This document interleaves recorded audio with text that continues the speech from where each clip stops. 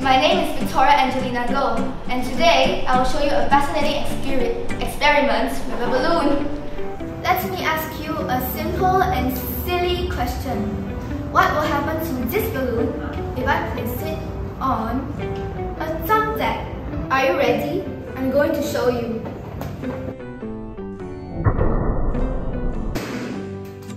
Of course, it pops. On the first experiment, my balloon popped because my push exerted very high pressure on a very small area of the thumbtack tip.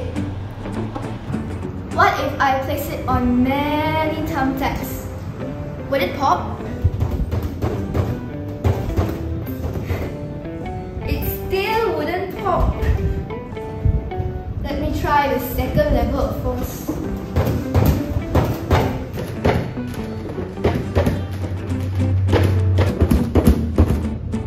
Magic, right? Let me explain the theory behind this experiment. For the second one, why doesn't it pop on many thumbtacks? This is because the force of my push spread across a large area of the thumbtack tips. I hope you guys learned something from this video. If you do, please hit the subscribe button, like, and share. See you soon. Bye. Yeah.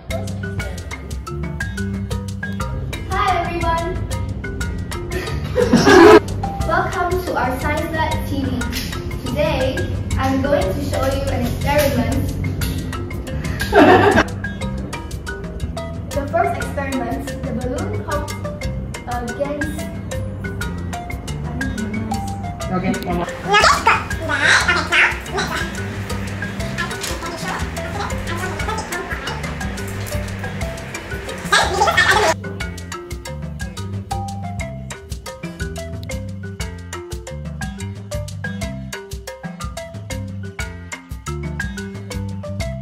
I hope you guys learned something from this video. If you do, please hit the subscribe button, like, and share. See you soon. Bye.